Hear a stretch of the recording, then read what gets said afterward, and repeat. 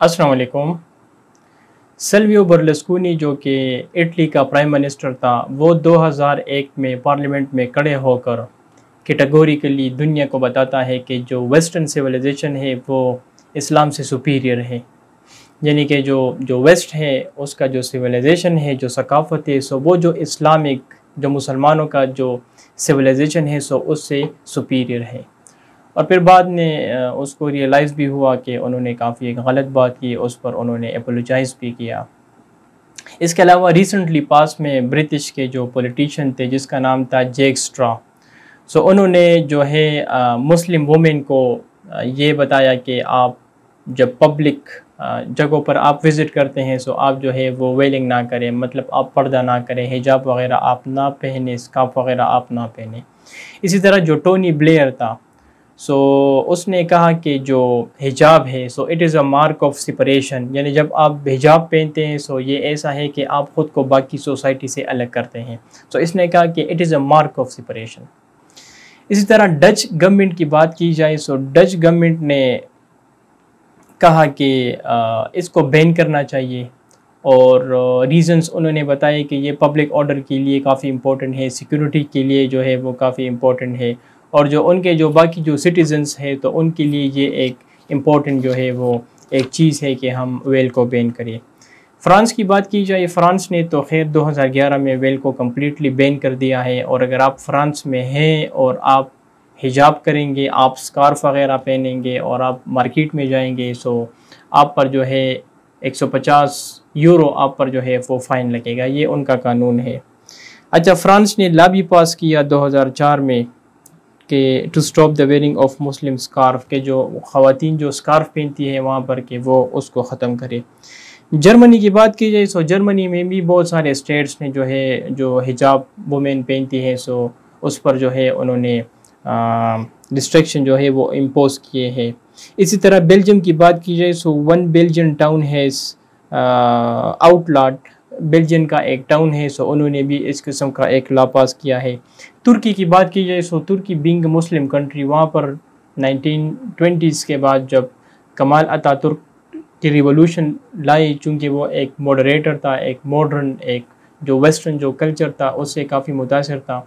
सो उन्होंने आ, उसको completely ban कर दिया। आप तुर्की में जो है वो हिजाब वगैरह जो है वो नहीं कर सकते। वो कम्प्लीटली बैन है।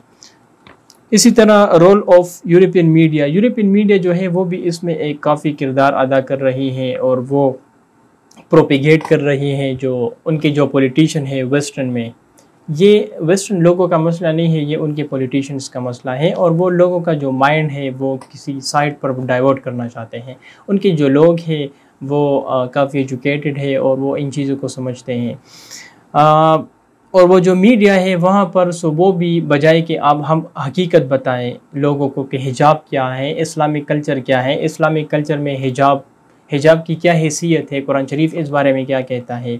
सो, वो कहते हैं कि ये रियली मार्क ऑफ़ सिपरेशन है और वो इसको प्रोपिगेट करते हैं जो वेस्टर्न मीडिया इसी तरह यूरोप में ज़्यादातर टीचर्स हैं ज़्यादातर ऐसे ख़वान हैं कि वो हिजाब पहनती हैं, सो वो जब काम पर जाती हैं, सो उन्हें काम से निकाला जाता है और बहुत सारे केसेस हमारे पास जो है वो मौजूद है। अच्छा अब जब ये लोग इस चीज़ पर बात करते हैं, जब हिजाब को बैन करते हैं, सो जब हम उनसे सवाल करते हैं कि भाई आप इसको क्यों बैन कर रहे हैं, आप हमें रीज़न्स बताएँ। सो वेस्टर्न पॉलिटिशियन हमें चार रीज़न बताते हैं। चार वो हमें रीज़न बताते हैं कि इन चार रीज़न की वजह से हम हिजाब को बैन कर रहे हैं। फ़र्स्ट पहला रीज़न ये है कि the veil shows refusal by the Muslim to integrate in a broader society कि जब आप हिजाब पहनते हैं, आप सोसाइटी में आते हैं सो आप लोगों को शो करते हैं कि हम इस सोसाइटी से कोई अलग मखलूक है।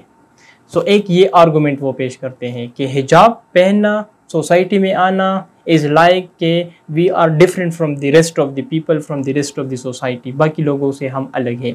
फ़र्स्ट आर्गूमेंट इस आर्गूमेंट का मैं अभी जवाब दूँगा। सो so ये ये वो फ़र्स्ट आर्गूमेंट पेश करते हैं। दूसरा कहते हैं कि such clothing is a testimony to the oppression of Muslim women they are आज to wear able by their dominating man fall के जो uh, जो ख़वान हैं मुसलमान वो ख़ुद तो इसको पसंद नहीं करती, जो मुसलमान ख़वान जो है, वो हिजाब पहनना पसंद नहीं करती, लेकिन जो मुसलमान, जो मर्द हजरात हैं, सो वो ख़वान को जो है, वो फोर्स करते हैं कंपेल करते हैं कि आपने हिजाब पहनी है। सो ये वो यानी हम जो मुसलमान जो मर्द हजरात हैं, जो मुस्लिम कंट्रीज़ में हैं सो वो हमें कसूरवार ठहराते हैं कि हम जो है वो ख़वान औरतों को जो है वो कंपेल करते हैं फोर्स करते हैं कि आपने हिजाब पहनी है।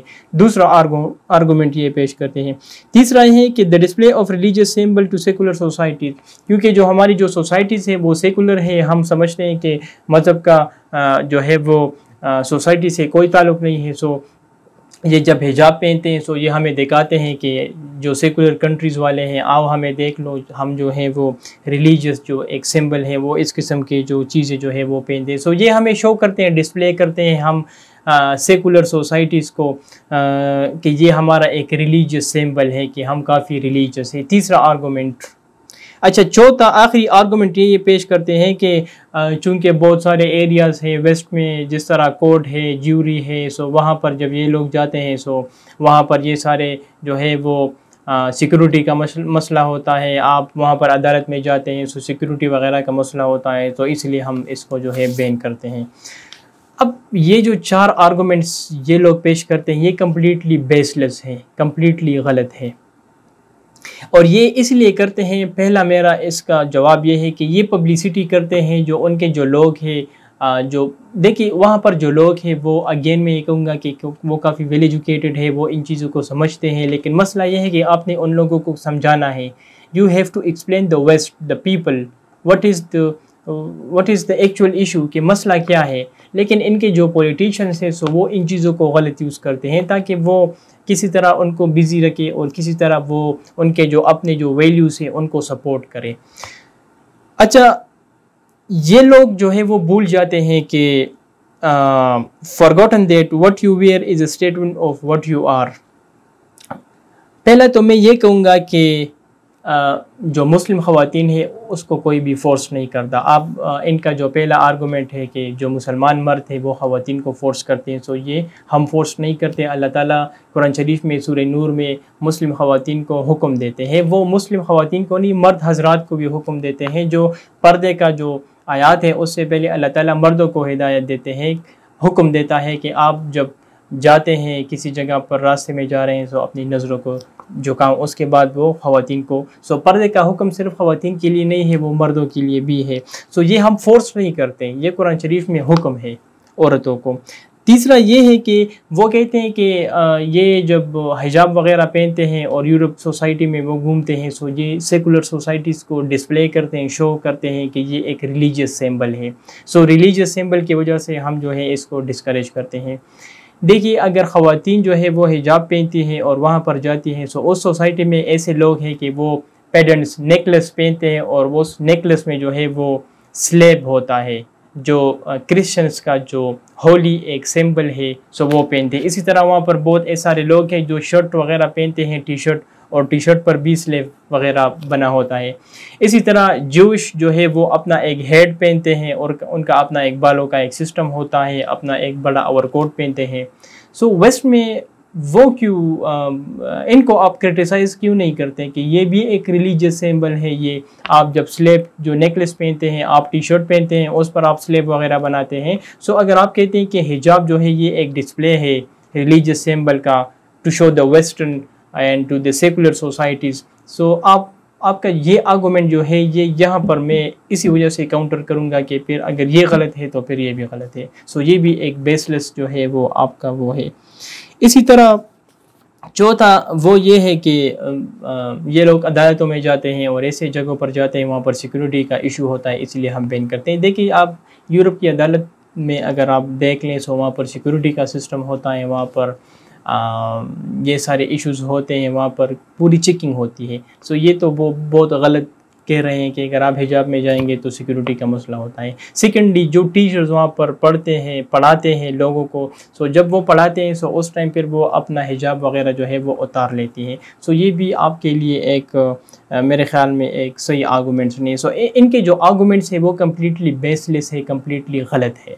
और it is just a propaganda अब ज़रा आते हैं कि कुरान शरीफ में जो हिजाब का कंसेप्ट है वो क्या है? अल्लाह ताला कुरान शरीफ में अगर हिजाब का हुक्म देता है, सो उसके पीछे वजह क्या है? देखिए, कुरान शरीफ में सबसे पहले दो जगह पर इसका ज़िक्र है। एक सूर नूर में आयत नंबर इकतीस में इसका ज़िक्र है और दूसरा हमारे पास है सूर एहजाब में आयत नंबर 59 में है। पहले 31 की तर्जुमा देखते हैं कि उसमें अल्लाह ताला क्या फरमा रहे हैं और फिर तर 59 को देखते हैं कि जो हिजाब है सो एक्चुअल हिजाब क्या है? यानी कुछ लोग कहते हैं कि आपने मुँह को छुपाना है। सो क्या मुँह को खुला रखना ये कुरान शरीफ इसकी इजाज़त देती है या नहीं देती? इस्लाम में इसका क्या है? या सिर्फ़ हिजाब क्या है और पर्दा क्या है? इसमें हम वो देखेंगे। सबसे पहले तो इसकी जो तर्जुमा है सूर्य नूर की, काफ़ी एक बहुत बड़ी आयत है, लेकिन मैं तर्जुमा करूँगा। अल्लाह ताला फरमाते हैं कि instruct believing women to keep their gaze low कि जो मुस्लिम ख़वान हैं, उनको उनको जो है वो हुक्म अल्लाह ताला देते हैं कि वो अपने निगाहों को नीचे रखिए प्रोटेक्ट देयर मोडेस्टी वर्चू शाइस्तगी को जो है वो प्रोटेक्ट करें। Not to show their glamour glamour से मुराद ये है कि हर वो चीज़ जो आपको अट्रैक्ट करती हो। वो इंसान भी हो सकता है, वो एक गाड़ी भी हो सकती है, मोबाइल भी हो सकती है, कुछ भी हो सकता है, घर भी हो सकता है। So not to show their glamour except जो चीज़ बाकी लोगों को अट्रैक्ट करती है उसको आप शो ना करें। Except what is expose by itself यानी जो आपके इख्तियार में नहीं होता सो फिर आ, वो आपकी वो नहीं होगी आप गुनहगार नहीं होंगे। Cover their bosom with scarf आपका जो चेस्ट होता है सो उसको आप स्कार्फ के साथ जो है वो कवर करे not to reveal the decoration except to their husband father father in law sons वगैरह वगैरह यानी आप आपकी जो डेकोरेशन है आप अगर ख़ुद को तैयार करते हैं सो वो आप हस्बैंड के सामने जो है शो कर सकते हैं फादर के सामने कर सकते हैं ससुर के सामने कर सकते हैं बच्चों के सामने कर सकते हैं। आपके जो अंकल्स होते हैं पेटर्नल अंकल्स होते हैं या मेटरनल अंकल्स होते हैं या जो नौकर जो ख़वान नौकर आपके घर में होते हैं या मेल ऐसे ऐसे हजरात होते हैं जिसे आ, मतलब उनकी उम्र इतनी नहीं होती और वो पर्दे के बारे में कुछ वगैरह नहीं जानते। इसके अलावा अल्लाह ताला फरमाते हैं कि do not stamp your feet in walking जब आप वॉक करती हैं सो आप जो है मतलब इस तरह ना चलिए कि बाकी लोग आप, आपकी तरफ़ अट्रैक्ट हो। और belief repent before Allah so that you may prosper so ये एक आयत है पर्दे की अब आते हैं कि सूर्य एजाब में अल्लाह ताला इस आयत में क्या फरमाते हैं हजूर वसल्लम को। अल्लाह ताला फरमाते हैं कि ए कि O prophet tell your wife daughters and wife of true believer to cover their person with outer glamour कि अपने, के ए पैगंबर अपनी बीवियों को और अपनी बेटियों को और जो मुसलमानों के बीवियाँ हैं, उनको बताओ कि वो अपने जो आउटर गारमेंट्स हैं उसको प्रोटेक्ट करें।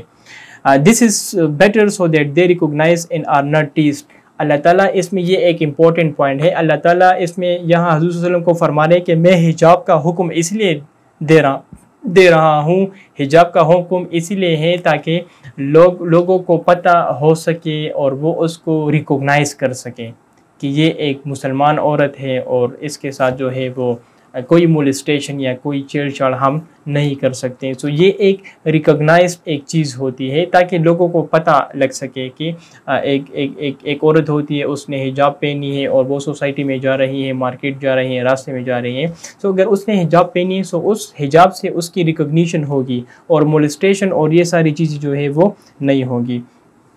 अब इस आयत में अल्लाह ताला फरमाते कि जो जलबीब वर्ड अल्लाह ताला ने यूज़ किया है इस सूर एजाब की आयत नंबर 59 में। इसमें अल्लाह ताला फरमाते हैं कि जो जो जो पर्दा होता है, ये होता है कि आप जो है इस, ये आपके जो बाल होते हैं या आपकी बॉडी वगैरह ये नीचे पाँव तक जो है, इसको आपने कवर करना है। अब इसमें आपके पास कौन कौन सी चीज़ें हैं जिसकी इजाज़त है और जिसे अगर आप कवर ना करें तो आप उसमें गुनाहगार नहीं हो सकते। एक आपका फेस ये जो आपका फेस है इधर तक इसे आप ओपन रख सकते हैं। आपके जो हैंड्स हैं यहाँ तक इसे आप जोड़ सकते हैं और आपके जो फुट नीचे जो पाँव है जो आप चप्पल वगैरह पहनते हैं इन तीन जगह को अगर आप छोड़ेंगे तो आप गुनाहगार नहीं रह, नहीं होंगे। इसके अलावा हिजाब से हमारा मतलब यह है कि इसके अलावा आपकी जो पूरी बॉडी होगी वो कम्प्लीटली कवर होगी। This is hijab the actual hijab in Islam अब जितने भी हैं जितने भी टॉप स्कॉलर है और जो सही मज़हब जानता है और जो तफसीर मैंने देखे हैं सो ये ये हुक्म है हिजाब का कुरान में और ये इस पर मुतफिक भी है। अब आपकी सोसाइटी में आपके घर में कोई आपकी आपको फोर्स करेगा सो ये वो आपको फोर्स करेगा। बहुत सारे ऐसे माशरे में हमारे मौलवीज़ है वगैरह है। पुख्तून सोसाइटी की बात कीजिए सो यहाँ पर जो है हमारा माशरे में ये है कि आ, इस पुख्तून सोसाइटी में भी पर्दे का वो जो हुक्म है, इस्लाम में और पुख्तून में है। सो अगर हमारी पुख्तून सोसाइटी में या बलोच सोसाइटी में वो चेहरा वगैरह जो है छुपाती है सो इट मीन्स के वो पुख्तून कल्चर को एडोप्ट करेगी। सो इस्लाम में जो है, आप चेहरे को, हाथों को और अपने फुट को जो है वो खुला छोड़ सकते हैं एंड इस पर कोई जो है वो गुना वगैरह नहीं होगा।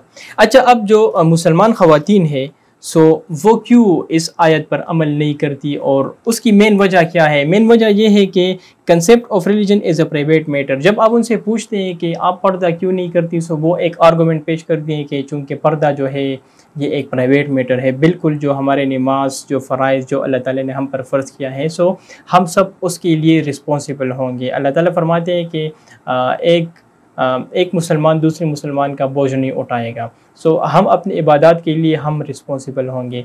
लेकिन कुछ मसाइल ऐसे होते हैं जो कि आपका प्राइवेट नहीं होता वो सोसाइटी से रिलेटेड होता है।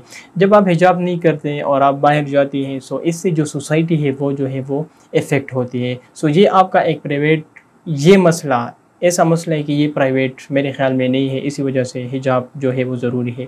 फ़ैशन वुमेन समझती है कि जो वो बाकी मोस्ट वेस्टर्न मॉडर्न सिविलाइजेशन को देखती हैं टीवी में वगैरह में ड्रामे वगैरह, ये सारी चीज़ें देखती हैं। सो वो देखती हैं कि ये हिजाब वगैरह, पर्दा वगैरह, ये एक बैकवर्ड चीज़ है, लिहाजा हम इसे नहीं करेंगे और वो इसको डिस्करेज करती है। Culture women following the western culture do not like well जब, जो वुमेन वेस्टर्न कल्चर को फॉलो करती हैं सो वो भी हिजाब को जो है वो डिस्करेज करती है। Role of media the media also promote fashion discourage media जो है वो फ़ैशन वगैरह को जो है वो प्रमोट करती है सो इसी वजह से भी वेल जो है हम उसे डिस्करेज करते हैं। मॉडर्नाइजेशन वुमेन समझती है कि जो अगेन के जो वेल वगैरह है, ये हमारे पास बैकवर्ड ये चीज़ें। सो ये एक मुकम्मल हिजाब का कंसेप्ट था जो कि एक इशू है वेस्ट में चल रही है, और मेरे ख्याल में इससे वेस्ट को कोई मसला नहीं हो सकता। वेस्ट जो है वो अगर आप इस पर क्रिटिसाइज़ करेंगे सो आप अपने जो, आपके जो वैल्यूज़ है, उसको जो है वो आप क्रिटिसाइज़ करेंगे। आप खुद समझते हैं कि हर इंसान का फ्रीडम होता है। सो अगर आप हमें डिक्टेट डिक्टेशन देंगे कि आपने ये पहना है, ये नहीं पहना है सो फिर आप आप अपने रूल्स के ख़िलाफ़ जा रहे हैं। आप किस तरह किसी को डिक्टेट कर सकते हैं कि आपने ये पहना है या आपने ये पहना नहीं है? आप ये भी आर्गूमेंट पेश करते हैं कि बहुत गर्मी में भी आप मुसलमान औरतों को जो है वो हिजाब पहनाते हैं और गर्मी में भी। यूरोप में भी हमने सर्दी में ऐसे ख़वान देखी हैं कि वो बर्फ़ भी होती है लेकिन वो फिर भी उनका जो ड्रेस होता है वो नेक ड्रेस होता है। सो आप इधर गर्मी गर्मी का एक आर्गूमेंट हमें पेश करते हैं कि गर्मी में वो हिजाब क्यों पहनती है लेकिन वहाँ सर्दी में वो नेक्ट ड्रेस पहनती है आप उसको काउंटर नहीं करते। सो so, ये मेरे ख्याल में आप आप लोगों का अपना एक कल्चर है उनका अपना एक सिविलाइजेशन है और हमारा इस्लाम का अपना है। आप अगेन नॉलेज हासिल करें, आप आईटी में तरक्की करें, आप स्पेस में जाएँ, आप मिलियंस डॉलर तजारत करें, उनसे फ़ायदा लें। लेकिन culture has nothing to do again with knowledge thank you very much